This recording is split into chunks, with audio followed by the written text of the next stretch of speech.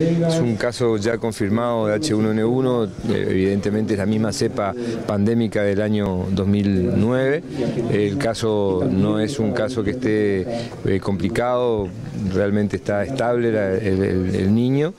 y hay circulación viral seguramente, pero también venimos con buenos índices de vacuna, visto y considerando que eh,